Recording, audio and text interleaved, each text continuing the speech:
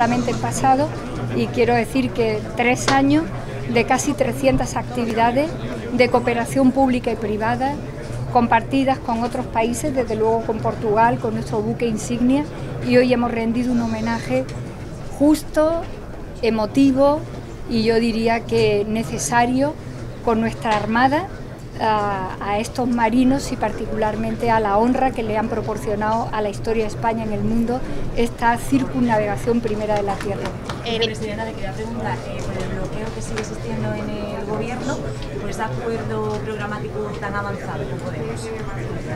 Bueno, se le puede calificar de muchas maneras, pero lo que estamos es siguiendo los pasos que marca nuestra Constitución. Si la primera investidura ha salido no exitosa, nuestra Constitución marca las pautas de lo que hay que hacer ahora.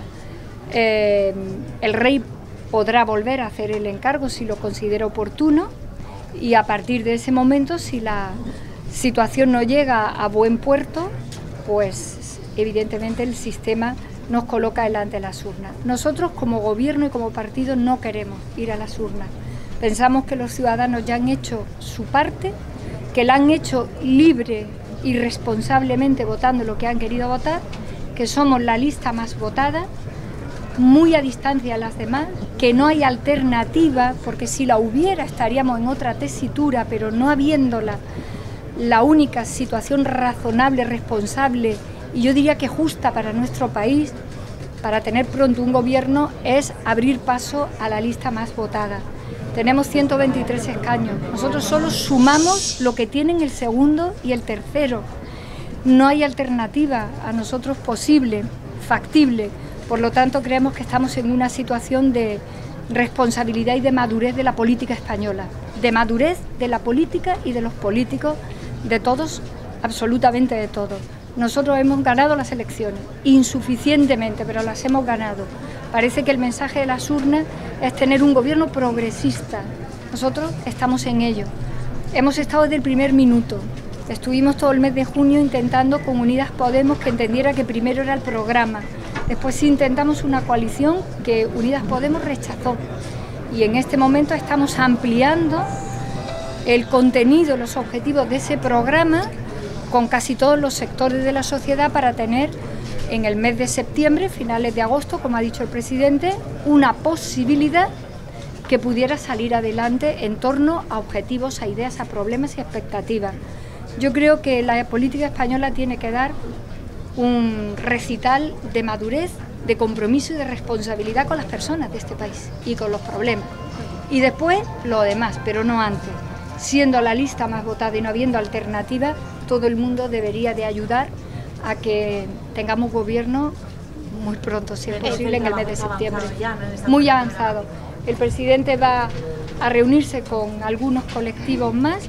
Eh, em, estamos ampliando el programa que ya teníamos em, y que habíamos también incorporado algunas cuestiones importantes de otras fuerzas políticas, de Unidas Podemos. Estamos incorporando aportaciones de todos los sectores con las reuniones que estamos teniendo y como dijo ayer el presidente, estamos en condiciones de tener un programa más amplio que el solo que teníamos como partido político ganador de las elecciones para ver si sobre la base de los problemas y de los contenidos, de las respuestas y de los objetivos somos capaces en septiembre de tener gobierno y de tener gobierno pronto. Yo me gustaría trasladar una idea que es una idea casi sencilla de la vida. Si las urnas ya han hablado, si no hay alternativa, parece que el sentido común nos indica a todos a tener capacidad de, respuesta y de respuesta eh, generosa y elevada con el país, con España y no con otra cosa. Eso es lo que nosotros pensamos y en eso es lo que vamos a, a seguir insistiendo hasta que lleguemos al momento en el que se pueda tener gobierno. Por lo demás, la situación constitucional de España es muy, muy previsible, como lo es con cualquier democracia como la nuestra, solo que yo el otro día ya lo dije, en cualquier democracia, en una situación como esta en Europa, ya habría gobierno. Eh, ya habría gobierno. Vicepresidenta, el Open Arts ha rescatado a 39 personas más. No sé si el gobierno se replantea alguna decisión al respecto. ¿Han solicitado ayuda a la Unión Europea? Eh, nosotros somos el país que hace en este momento en Europa el mayor esfuerzo en cumplir las normas, en asegurar la frontera y en rescates humanitarios. No puedo decir más que lo que los españoles y españolas saben cada día.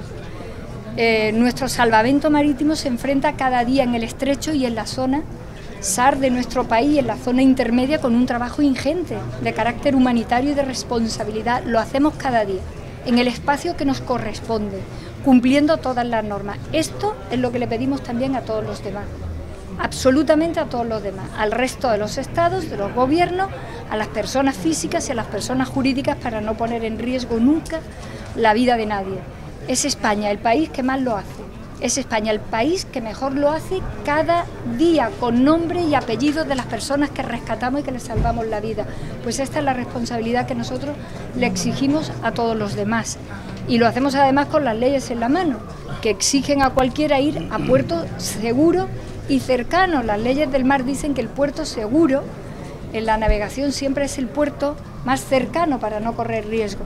Nosotros cumplimos todas las normas y cada día le salvamos la vida a mucha gente en el estrecho, como todos ustedes saben, porque dan noticia de vez en cuando de la actividad que este país tiene. Bueno, muchas gracias.